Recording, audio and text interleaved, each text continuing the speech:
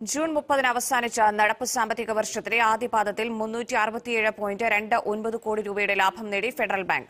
കഴിഞ്ഞ സാമ്പത്തിക വർഷം ആദ്യപാദത്തിലെ ലാഭത്തെ അപേക്ഷിച്ച് എട്ട് പോയിന്റ് നാല് ശതമാനം കുറവാണിത്. ബാങ്കിന്റെ ആകെ ലാഭം ഒൻപത് ഒന്ന് പോയിന്റ് ഒൻപത് ശതമാനം ഉയർന്ന് നാലായിരത്തി അഞ്ച് പോയിന്റ് എട്ട് ആറ് കോടിയായി. കോവിഡ് സൃഷ്ടിച്ച പ്രതികൂല സാഹചര്യങ്ങളിലും ഫെഡറൽ ബാങ്കിന് മികച്ച നേട്ടം സ്വന്തമാക്കാൻ കഴിഞ്ഞതായി എം ടിയും സിഇഒയുമായ ശ്രാം ശ്രീനിവാസൻ പറഞ്ഞു.